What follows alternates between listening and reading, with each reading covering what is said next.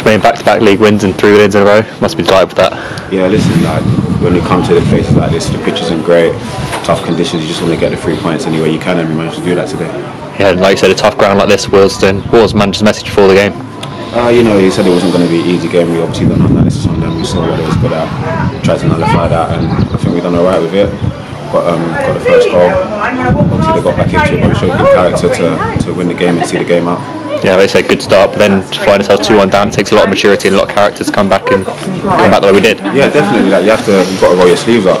You know, you've got to get around the boys and, and believe that you can win the game, and I think that's what we've done, especially when we come out in the second half. That'd have been the manager's message at half time as well. You know, let's keep going, make sure we cement this win. Yeah, definitely. Like you can't give up on games, you know, regardless. You've got to play all the way to the 96th minute, final whistle, and I think that's what we've done. Obviously, the boys were tough, resilient, and managed to get the three points today. On, on terms of your goal, there's a bit of a scramble as to whose goal it was, but you're definitely claiming it as your goal. Oh, I mean, I'm not claiming it. It was mine. yeah, obviously, there was a bit of a scramble in the, the box. I've hit it. It's gone over the line, but it's cleared, and just appealed to the ref, and he's seen it. So yeah, definitely my goal. Not a bad way to sign off your new contract with the club. You know, win away at Wealdstone. Yeah, definitely. No, that's my my game, my aim. So that's the whole team's aim. We just come want to win every game we can, play if we can, but obviously sometimes you can't.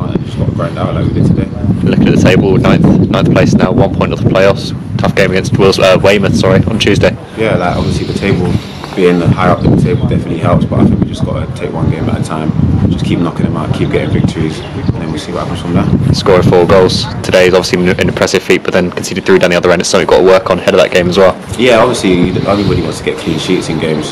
Sometimes it's not possible, but luckily we've got a good front three that will score us goals if, if we can't manage to keep clean sheets. But yeah, it's definitely something that we're going to look to, to work on. Lots been made our midfield three as well, you, Edsa, and Josh as well.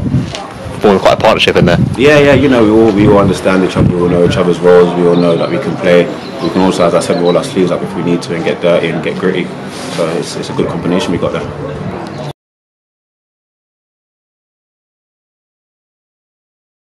Are you in with a shot? More information below.